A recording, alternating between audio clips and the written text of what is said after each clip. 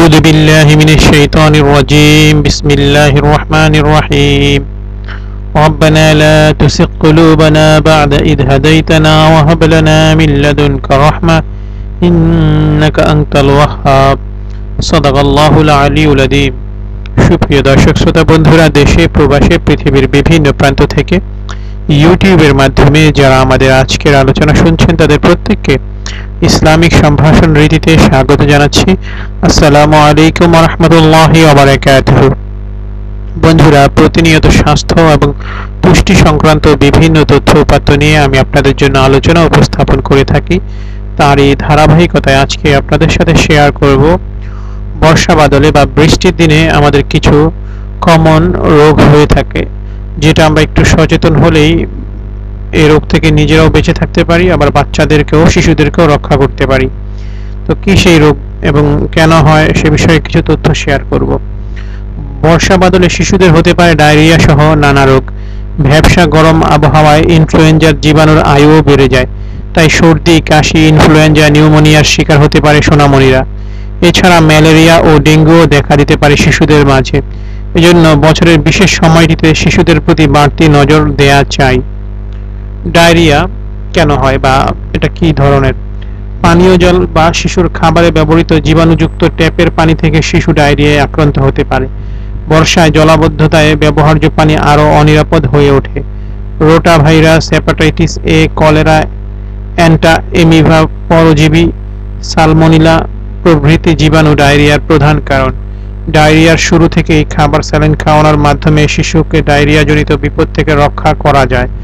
ছয় মাস বয়স পর্যন্ত শিশুকে শুধু বুকের দুধ পান, শিশুর পানীয় জল ও খাবার তৈরিতে নিরাপদ পানির ব্যবস্থা গ্রহণ।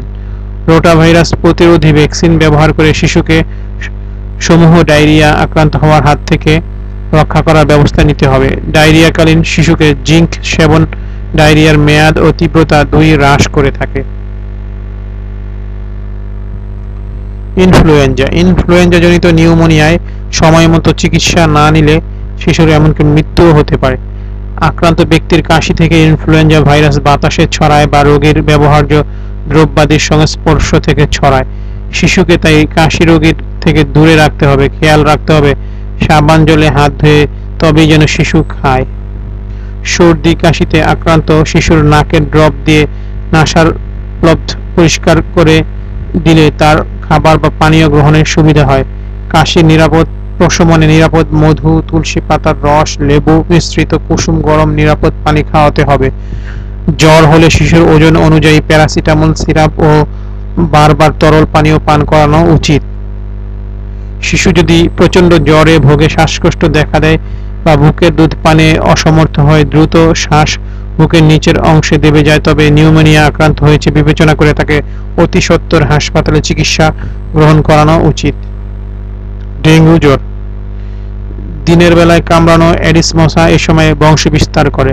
আক্রান্ত শিশু প্রথম কয়েকদিন উচ্চমাত্রার জ্বরে ভোগে। মেরুদণ্ডে ব্যথা, চোখের পেছনে ব্যথা, মাংসপেশিতে ব্যথা, কখনো বা মাড়ি, মলপথে রক্তপাত সহ হেমোরেজিক ডেঙ্গু প্রকাশ পায়। সাধারণত ডেঙ্গু জ্বরে প্যারাসিটামল দেওয়া যেতে পারে। অ্যাসপিরিন জাতীয় ঔষধ সেবন করাবেন না।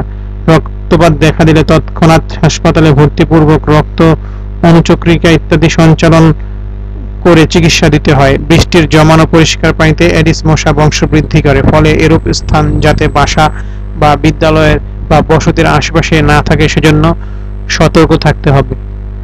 তো বন্ধুরা, শিশু বাচ্চারা বর্ষা বাদলে এই কয়েক ধরনের রোগে বেশি আক্রান্ত হয়। এজন্য শিশুদের প্রতি একটু এক্সট্রা কেয়ার দিতে হবে। যেহেতু এখন বৃষ্টির সময় চলছে, তো আপনার বাচ্চা, ঘরে যদি কোনো বাচ্চা শিশু থাকে, তার দিকে একটু এক্সট্রা নজরদারি করবেন। এবং সবসময় সচেতন থাকবেন। তাহলেই ইনশাল্লাহ এই ধরনের বিপদ থেকে আপনি বেঁচে যেতে পারবেন, আপনার আদরের সোনামণিকে বাঁচিয়ে রাখতে পারবেন। তো আমাদের আজকের আলোচনাটি এ পর্যন্তই। আশা করি আপনাদের কাজে লাগবে। যদি ভালো লাগে শেয়ার করে দেবেন, যাতে অন্যরাও শুনে উপকৃত হন। আমাদেরকে আপনাদের মতামত জানাবেন। আর আমাদের এ ধরনের আরও গুরুত্বপূর্ণ আলোচনা জানার জন্য আমাদের চ্যানেলটি সাবস্ক্রাইব করবেন। আমাদেরকে লাইক দিতে ভুলবেন না। আজ এ পর্যন্তই। ভালো থাকুন। আল্লাহ হাফেজ। আসসালামু আলাইকুম রহমতুল্লাহ।